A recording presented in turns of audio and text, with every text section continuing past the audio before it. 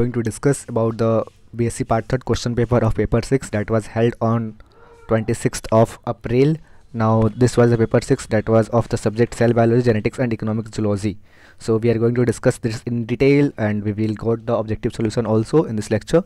So first of all we will read the instruction that are the Candidate are required to give their answers in their own words as far as practicable. The figure in the margin indicate full marks. Attempt any 5 questions of which question number 1 and 2 are compulsory.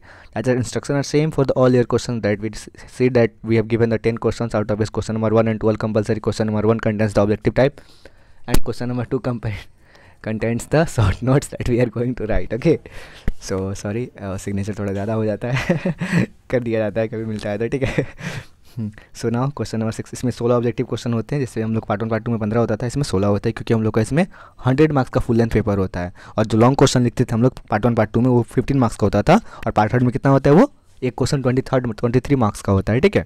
सो पहले इसका objective देखेंगे हम लोग।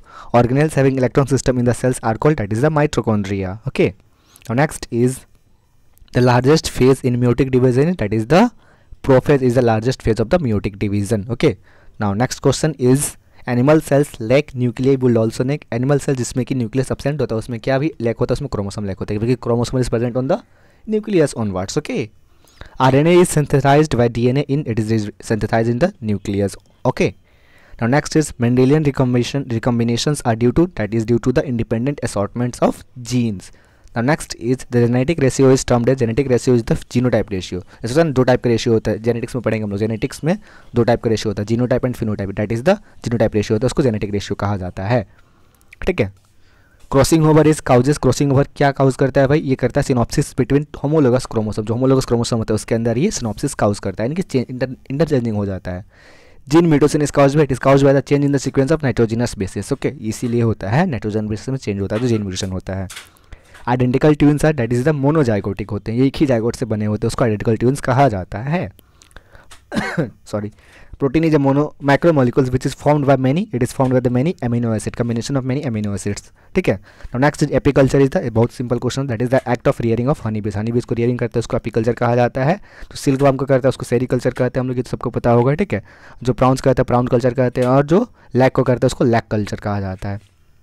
Fish is an important source of fish जो मछली होता है, किसका सोर्स होता है? इंपॉर्टेंट प्रोटीन का सोर्स होते हैं, ठीक है?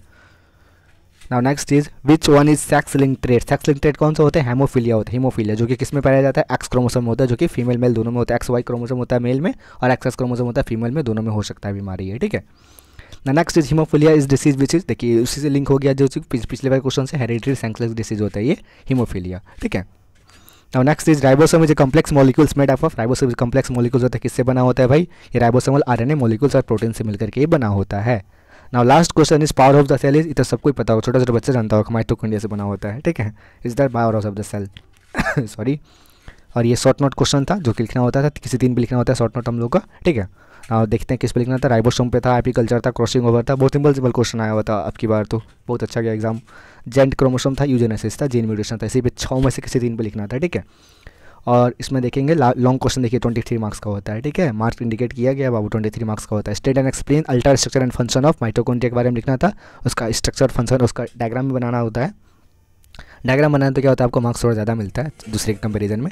कि van account of ultra structure of chromosome के बारे में लिखना था राइट एन एसे सेरिकल्चर के बारे में लिखना था what is gene mutation and molecular mechanism of its origin इसके बारे में लिखना था and given account of genetic code and translation इसके बारे में लिखना था and station explain drive transport transport across cell membrane के बारे में किस तरह से ट्रांसपोर्ट होता है, जो एक्टिव न्यूट्रिएंट होता है उसके बारे में लिखना था, ठीक है? व्हाट आर क्रोमोसोमल एब्रीवेशन इसके बारे में लिखना था given account of lac culture के बारे में लिखना था। That was all the question paper and year answer को हमने इंक्लूड कर दिया इसमें भी, ठीक है? ऐसे तो टिक आउट हुआ ही सब में, सब इसमें भी इंक्लूड कर दिया है। And if you want the PDF of this notes I will give the link of my Telegram channel in description box from where you can download this PDF easily because I whatever video I upload I will upload the PDF on that channel also so that all for the two lessons be happy we will meet in another amazing sessions